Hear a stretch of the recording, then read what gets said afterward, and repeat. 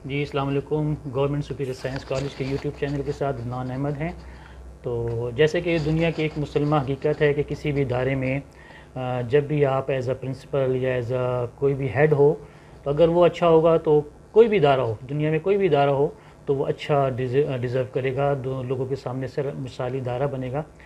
तो पेशावर की एक मशहूर दसगाह, जिसे नाम है गवर्नमेंट सुपीरियर साइंस कॉलेज, एक तो आपको पता है गवर्नमेंट कॉलेज है एक इसके बिल्कुल ही मशहूर कॉलेज है गवर्नमेंट सुपीरियर साइंस कॉलेज इनके आजकल प्रिंसिपल हैं हमारे फली नसीर असीर साहब। इनसे इन आज के इंटरव्यू करते हैं। इनकी इब्तदाई तालीम पूछेंगे, इनकी तालीमी नज़रिया पूछेंगे, सारा कुछ पूछेंगे। तो सर के साथ शुरू करते हैं। सर अलैक्म आपके क्या हाल है सर? ठीक सर पहले तो हम ये पूछेंगे सर आपसे कि माशाल्लाह आपका नाम फजल नसीर असीर है सर। अक्सर लोग पूछते हैं कि ये असीर का क्या मतलब है सर ये ज़रा डिस्प्लिन करें सर। हाँ असीर का मतलब तो है कैदी पाबंद और ये मेरा अदबी नाम है क्योंकि मैं शायरी करता हूँ पश्तों में और अफसाने लिखता हूँ तो ये मेरा अदबी नाम है अच्छा। और बहुत पहले से है। अच्छा। और असीर के माने जितनी भी है लेकिन मैं इसको समझता हूँ कि मैं अपने आप को अल्लाह के अहकाम के पाबंद समझता हूँ तो उस हवाले से मैंने ये असीर नाम रखा हुआ है। अच्छा अक्सर आपसे सर लोगों में मशहूर है माशाल्लाह आपने कि तो किताब उताब भी लिखी कोई शेर मजबूबा भी है आपका? कोई इस तरह आपने माशाल्लाह पश्तों में आपकी सारी तालीम है। तो ये ज़रा बता दें। हाँ बस अभी मज़बूत तो नहीं आया। शायरी बहुत की है इन अभी इस साल इन पब्लिश हो जाएगी अफसानों का किताब भी आ रहा है अच्छा। और शायरी का भी आ रहा है। सर अपनी इब्तदाई तालीम के बारे में बताएँ। सर आपने कहाँ कहाँ तालीम हासिल की? कहाँ पैदाइश हुई सर आपकी? और तालीमी ज़रा बैकग्राउंड सर बता दें।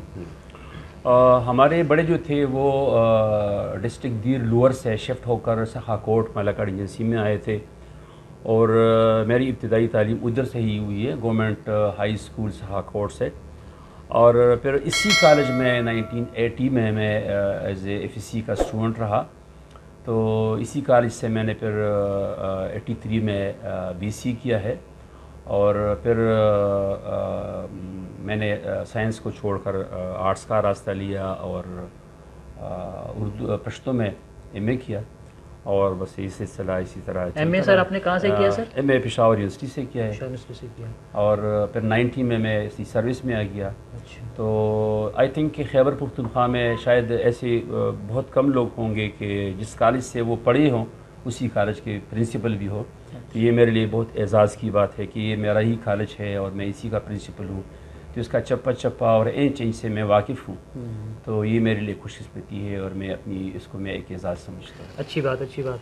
अच्छा सर आप ये बताएँ कि माशाल्लाह अपने तालीम हासिल करने के बाद आपने कहाँ कहाँ वक्त गुजारा as a lecturer as assistant professor as associate professor आपने कहाँ कहाँ वक्त गुजारा ये हमारे नाजरन को ज़रा बताइएगा सर। मेरी नाइनटीन में फ़र्स्ट अपॉइंटमेंट हुई थी नवशहरा गवर्नमेंट कॉलेज नवशहरा में। चार साल में वहाँ रहा। फिर गवर्नमेंट कॉलेज पिशावर में, मैं आया और पाँच छः साल वहाँ रहा। 99 में मैं फिर वापस नौशहरा चला गया। तो वहाँ से फिर 2003 में मैं गवर्नमेंट सुपीरियर साइंस कॉलेज आया। उसी वक्त भी मैं लेक्चरर था क्योंकि उस वक्त लेक्चरशिप में तकरीबन सतारह अठारह साल लगते थे।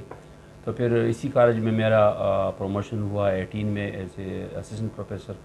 और फिर स्टेट प्रोफेसर मैं यहाँ ही बना और फिर मेरी ट्रांसफ़र सवाबी कॉलेज में हो गई लाहौर सवाबी में। और उधर से फिर इधर हो गई और फिर ट्वेंटी में भी मैं खुशमती थी कि यहाँ दो हज़ार सोलह में ट्वेंटी में मैं चला गया तो यहाँ सीट अवेलेबल थी। तो इसी तरह ये होता रहा।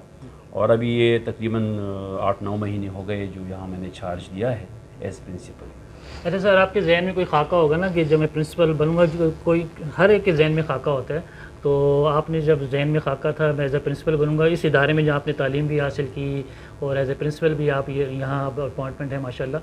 तो आपने कैसा पाया इस कॉलेज को, इस इदारे को? आपके बिल्कुल जहन के मुताबिक था ये कॉलेज के हालात आगे पीछे थे?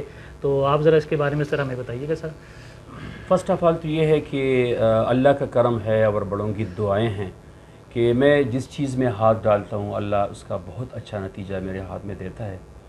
तो प्रिंसिपलशिप से पहले मैंने यहाँ एक पश्तों का डिपार्टमेंट खोला।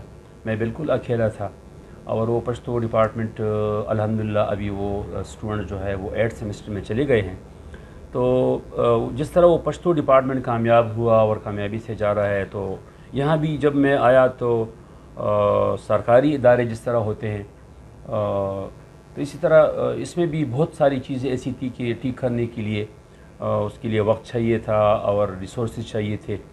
तो अल्हम्दुलिल्लाह वन बाई वन अगर मैं कहूँ तो बहुत सारे मसाइल ऐसे थे कि यहाँ की कुलीग्स और यहाँ के दोस्त यहाँ का बहुत अच्छा माहौल है। प्रोफेसर जितने भी है तकरीबन हंड्रेड की करीब प्रोफेसर्स हैं। तो उनसे मिलकर वो आ, हमने हल कर दिए। यहाँ हमने पानी का मसला हल किया पानी अवेलेबल नहीं थी यहाँ। सफ़ाई का नाकस निज़ाम था वो हमने कर दिया। प्लांटेशन वगैरह उसकी तरफ़ कोई ध्यान नहीं देता था तो हमने कर दिया। फ़र्नीचर में हमने आ, काम किया तो फ़र्नीचर अलहमदिल्ला अभी आ, हम इस काबिल है कि फ़र्नीचर की कोई कमी नहीं है स्टूडेंट्स के लिए। आ, इस तरह आ, आ, बाकी बहुत सारी चीज़ें हैं एकेडमिक हवाले से हमने जो डेवलपमेंट शुरू की है बीएस के हवाले से पंद्रह डिपार्टमेंट्स हैं। और पंद्रह डिपार्टमेंट में आजकल बहुत सारे स्टूडेंट्स हैं। हर डिपार्टमेंट आखिरी स्टेज पे पहुँच गए हैं।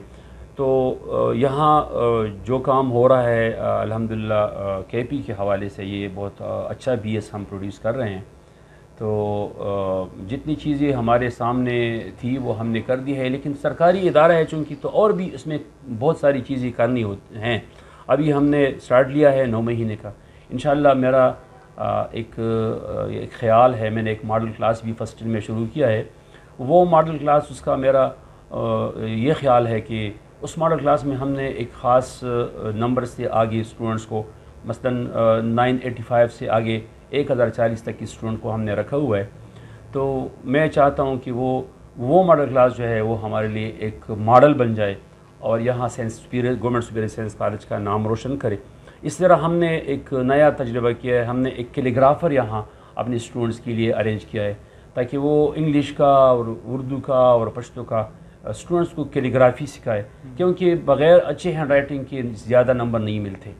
तो स्टूडेंट में ये अवेयरनेस हम दे रहे हैं वक्ता बवक्ता हम सेमिनार कर रहे हैं कल्चर सेमिनार कर रहे हैं साइंटिफिक सेमिनार कर रहे हैं। तो ये सिलसिला इस तरह जारी है। अच्छा माशाल्लाह सर। अच्छा सर कोई छोटा इदारा हो ना वहाँ मैनेज करना बड़ा मुश्किल होता है लोगों को ना। मतलब छोटा छोटा कोई ऑफ़िस हो माशाल्लाह आप इतना बड़ा कॉलेज चला रहे हैं पंद्रह डिपार्टमेंट्स बीएस के हैं फिर एफएससी है फिर इतनी बड़ी तादाद में प्रोफेसर्स हैं फिर लड़के हैं। तो मुश्किल तो सर आपको होती होंगी। तो किस तरह आप हैंडल करते हैं सर अगर फ़र्ज़ का कोई मसला आ जाए स्टूडेंट की इस तरफ़ से मसला आ जाए कोई टीचरों की तरफ़ से कोई मसला आ जाए तो आपका जहन क्या कह, कहता है दूसरों की क्या नसीहत करते हैं कभी इस तरह का कोई मसला आ जाए तो आपने क्या नसीहत करेंगे लोगों को टीचरों को? बहुत अच्छा सवाल आपने पूछा है। बहसीत प्रिंसिपल या बहसीत किसी इदारे के सरबराह का कोई भी इदारा हो, उसका सरबराह हो तो पहली बात तो यह है कि उसको अपना दिल बड़ा होना चाहिए। और दूसरी बात यह है कि अपने तमाम स्टाफ को ये यकीन दहानी करानी चाहिए कि ये हमारा घर है। जिस तरह लोग घर चलाते हैं कभी कभी वहाँ जिस तरह घर में हमारे छोटे छोटे मसाइल आते हैं, लेकिन हम मिल बैठ कर उसको हल कर लेते हैं। तो अल्हम्दुलिल्लाह, पहली बात तो यह है कि यहाँ जो हंड्रेड प्रोफेसर है, कोई मसला एक ऐसी कोई इशू है नहीं। जो छोटे मोटे इशू आते हैं, वो हम मिल बैठ कर जरगे के सिस्टम से, जिस तरह पश्तूनगली में जरगा होता है, उसी तरीके से हम हल करते रहते हैं। तो कोई ऐसा वो नहीं है। लेकिन यह है कि जो आपने कहा है कि किस तरह इदारे चलते हैं तो पहली बात यह है कि वो पेटियाटिज़म होनी चाहिए। और आप जब पेटियाटिक हो, आप इस साइल से और इस ज़मीन से आपकी मोहब्बत हो, और आप इदारे को ओन करें कि ये मेरा अपना इदारा है।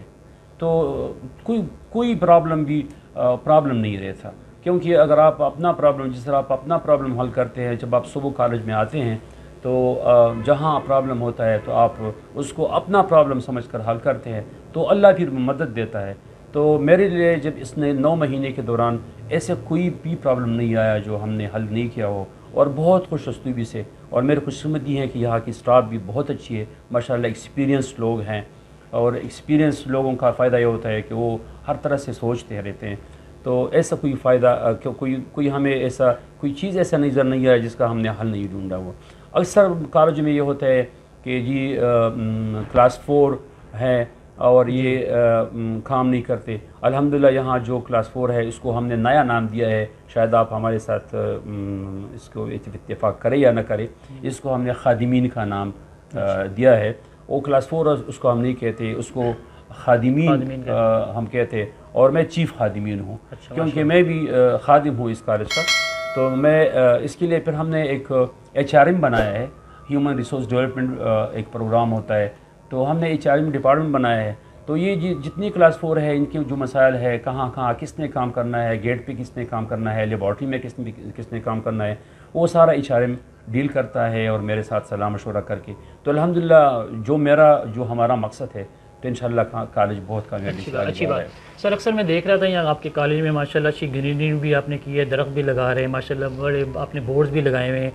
तो अगर मैं आपसे ख़ास तलबा के बारे में पूछूँ सर आप तलबा को क्या नसीहत करेंगे? अक्सर हमारे तालीमी इदारों में पढ़ाई तो हो रही है लेक्चर बहुत दिए जा रहे हैं लेकिन नसीहत नहीं है उधर तरबियत नहीं है सर। तो आप as a principal as a एक बाप के आप लड़कों को क्या नसीहत करेंगे कि अपनी तालीम की तालीम के साथ साथ आपने इस इस तरह टीचरों के साथ बिहेव करना है कि इस तरह अपने बड़ों से पेश आना है? ये बहुत अच्छा सवाल आपने किया है। आ, हमारे पास दो किस्म के तलबा होते हैं। एक कन्वेंशनल सिस्टम में जो होते हैं फ़र्स्ट ईयर सेकंड ईयर के जी सर। तो वो होते हैं और एक बीएस के होते हैं। कन्वेंशनल सिस्टम में जो तलबा है वो आ, उनके लिए ये है कि आ, मैं उनको ये एक पैगाम देना चाहता हूँ कि हमारे इदारे में हमारे कॉलेज में आ, आप वक्त पर आया करें वक्त पर जाया करें और जब भी आपका कोई क्लास टूटता हो या आप अपनी क्लास ना हो तो आप लाइब्रेरी का रुख करें। लाइब्रेरी में हमारे पास साढ़े दस हज़ार किताबें मौजूद है और हर मौजू पर किताब मौजूद है। ये आपको पढ़ने के लिए हम देते हैं। तो आप लाइब्रेरी का रुख करें और मीन वायल जो भी स्टूडेंट है उसका किसी भी सब्जेक्ट में मसला है फ़िज़िक्स में केमिस्ट्री में जवालजी में बाटी में तो मैंने अपना व्हाट्सएप नंबर यहाँ दिया हुआ है। जी जी अक्सर तो, मैंने देखा है। हाँ तो वो व्हाट्सएप नंबर मैंने इसलिए दिया है कि यहाँ आपको कोई मसला है तो आप हमें बताया करें। तो ये जो हमारे बच्चे हैं, इनसे हमारी बहुत एक्सपेक्टेशंस है। तो ये अपने वक्त को ज़ाया ना करें। जो सुबह आते हैं आठ बजे से लेकर साढ़े बारह, एक बजे तक, ये जो इनका टाइम है एक एक मिनट और एक एक सेकंड को काउंट करें और अपना टाइम ज़ाया ना करें। तो अगर वो अपना टाइम मोबाइल में ज़ाया ना करे, घूमने फिरने में ज़ाया ना करे और टीच क्लास में रहें और फिर लाइब्रेरी में रहे तो आई थिंक वो आगे पहुँच जाएँगे। दूसरी साइड से जो बी की स्टूडेंट्स है तो मैं उनके लिए एक ख़ास पैगाम देना चाहता हूँ। वो ख़ास पैगाम ये है कि बी एस एक, एक एक ऐसी चीज़ है कि जिसमें सारा कोर्स आपको हम पढ़ा नहीं सकते। हम सिर्फ़ आपको कोर्स कंटेंट्स पढ़ाते हैं।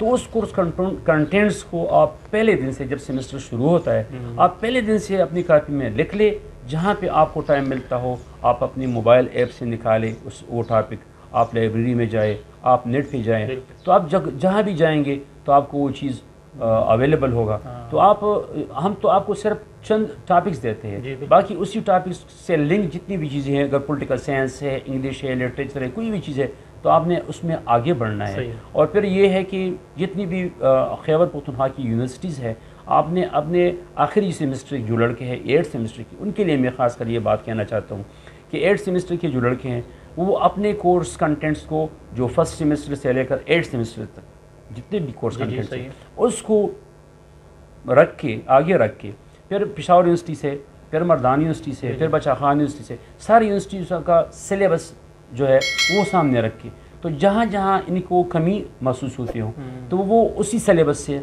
अपने लिए किताबें चूज़ करें। और अपनी स्टडी को ब्राइट करें। हम्म। जितनी इनकी स्टडी ब्राइट होगी तो ये आगे जाएगी। बिल्कुल। आपके कहने का मतलब ये है सर आजकल गूगल मतलब सोशल मीडिया का दौर है। मतलब कोई टॉपिक आपको समझ नहीं आ रहा तो आप गूगल में डाल के आप सर्च कर सकते हैं। अच्छी हाँ बात है सर अच्छी बात है। अच्छा सर ख़ास तौर पर दो सवाल आखिर में सर। इस को टीचर्स को यहाँ आपने कोई नसीहत करनी हो अच्छे इदारा बनाने के लिए कोई अच्छा पैगाम देना उनको कि भाई आपके साथ अच्छा कोऑपरेशन तो है सब कर, करते हैं मैं देखता हूँ माशाल्लाह सारी तारीफ़ करते हैं आपकी। जितने टीचर्स मुझे मिलते हैं सारों ने आपकी तारीफ़ ही की। आज आपका सबसे अच्छा इखलाक है बोलने का अंदाज़ माशाल्लाह आप किसी को हकीर नहीं समझते। तो ये सर आप मुझे बताएँ कि टीचर्स को आप क्या नसीहत करेंगे सर? ये बहुत अच्छा सवाल आपने किया है। इकतीस साल मेरी टीचिंग एक्सपीरियंस रही है। और मैंने अपने स्टूडेंट्स को ये हल्फियन मैंने उनको कहा कि मैं अपने बच्चों में और आप में कोई फ़र्क नहीं करता। और अल्लाह का फजल है कि उस स्लोगन की वजह से मेरे बच्चे अल्हम्दुलिल्लाह आजकल अपनी फील्ड्स में बहुत आगे चले गए हैं। तो मैं ये अपने टीचर्स के लिए ये एक पैगाम है मेरा कि ये जो कौम के बच्चे हैं, इनको अपने बच्चे समझ कर पढ़ाए। जिस तरह आप अपने बच्चों को पढ़ाती भी हो इनकी तरबियत भी करते हो इनको उठने बैठने की तरीके भी सिखाते हो इनकी नम, इनको नमाज़ के लिए भी कर, कहते हो इनको कहते हो कि भाई कुरान पढ़ो। जिस तरह आप अपने बच्चे को करते हो इसी तरह यहाँ इदारे में करो। तो आपकी इज़्ज़त भी रहेगी और ये स्टूडेंट्स भी आगे जाएँगे। और स्टूडेंट के हवाले से तो सब स्टूडेंट्स के लिए मैंने मेरा ये पैगाम है कि अगर आपने टीचर्स का इज़्ज़त रखा उनको बाप का दर्जा दिया तो वो आपको बच्चों का शफकत देंगे। तो इलम जो है वो सीने से फैलता है। तो जब आप टीचर्स को इज़्ज़त देंगे तो उसके बदले में अल्लाह उसकी सीने से जो इलम के रेस है जो शुआए हैं वो ऑटोमेटिकली आपके जहन पर पड़ेंगे और आप आगे बहुत बड़े इंसान बन जाएँगे। माशाल्लाह माशाल्लाह। मतलब आप कह रहे हैं कि टीचर जो है अपने स्टूडेंट के साथ ऐसा रवैया करे कि बाप का रवैया हो। बिल्कुल अच्छी बात है। सर आखिर में सर सिर्फ़ अक्सर ये मसले आते हैं क्लास फोर। हम जितने भी इदारों में देखा है हमने क्लास फोर अक्सर मसला करते हैं। तो आपने माशाल्लाह इधर नाम भी दिए हुए खादमीन का। तो उनको कोई ख़ास नसीहत करना चाहें कि वो क्या किस तरह काम कर सकते हैं? अपना बेहतर अंदाज है सर। उनके लिए मेरा बहुत ये एक खसूसी पैगाम है। ये इदारा है, जो भी इदारा है उसकी पिलर्स होते हैं। तो ये एक तालीमी इदारा है। इसका एक पिलर प्रिंसिपल होता है। दूसरा पिलर जो है, वो प्रोफेसर्स होते हैं। तीसरा पिलर जो है, वो ये जो खादमीन है, ये होते हैं। और चौथा पिलर स्टूडेंट्स खुद होते हैं। तो इसमें एक पिलर भी कमज़ोर हो तो काम आगे नहीं बढ़ता। तो ये जो खादमीन है इनके लिए मेरा ये पैगाम है कि ये ज़मीन भी आपकी है, ये मुल्क भी आपका है। आप यहाँ से तनख्वाह लेते हैं इस इदारे से। आपके लिए गवर्नमेंट ने ये एक चीज़ नाफिज किया है कि आप सुबह साढ़े आठ बजे या आठ बजे आते हैं और दो बजे तक काम करते हैं। तो आप इस इदारे को अपना समझें इसमें काम करने में कोई बेइज्जती किसी की नहीं होती, कोई इसमें इज़्ज़त बढ़ती है। अगर मेरे पैगंबर वसल्लम ने सारे काम अपने हाथ से किए हैं तो हम क्यों ना करें? तो मेरा उनसे ये एक रिक्वेस्ट है कि आप इसको ऐसा ना समझिए कि जिस तरह एक इदारा होता है, बस वो क्या आप कहेंगे कि मैं आया और वापस चला गया, तनख्वाह ले लिया। आप अपने तनख्वाह को हलाल करें। और हलाल करने के लिए तरीका ये है कि आप अपना काम बर वक्त करें, सही तरीके में से करें और जान न छोड़ाएँ कि जी ये काम मेरे ज़िम्मे है, बस मैंने जान छुड़ा ली है, मैं, मैंने छुट्टी लेनी है। छुट्टी का तरीका होता है। आपको तकलीफ़ है आप बीमार है घर में कोई ख़ास इमरजेंसी है आप छुट्टी कर से कर सकते हैं। लेकिन छुट्टी कैजुअल लीव का ये मतलब नहीं है कि आप हफ़्ते पे हफ़्ते कैजुअल लीव करते हैं। क्योंकि अल्लाह तो देखता है अल्लाह तो हमारे दिलों के बेहद जानता है। तो अगर आप बीमार नहीं है आप घर में फ़ारग बैठे हैं और आप खारिज नहीं आते तो आपकी वजह से यहाँ काफ़ी हम सफ़र होते हैं। हम्म। तो मेरा उनको ये पैगाम है कि इस इदारे को अपना इदारा समझ कर अपना कौमी फरीज़ा निभाए।